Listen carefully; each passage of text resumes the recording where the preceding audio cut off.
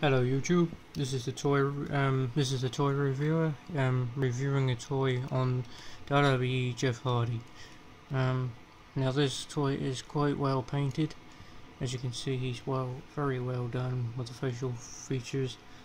Um this is back I think it was back in 2009 or something when he was still on WWE when he went to the painting and this is back when he had long hair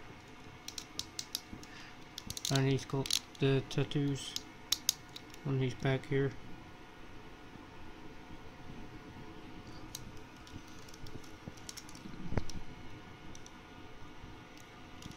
And his necklace tattoo. Now this I would say this is one of the three um, best WWE um, wrestling toys of Jeff Hardy they have ever done. I think it was one of the best very well painted. I truly like this wrestler.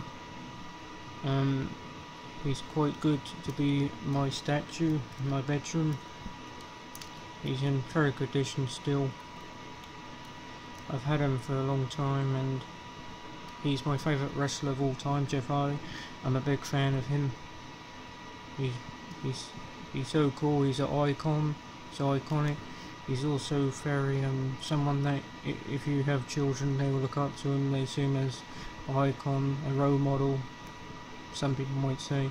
Thank you for watching this short review and see you in the next video guys. Thank you for seeing this one. Bye bye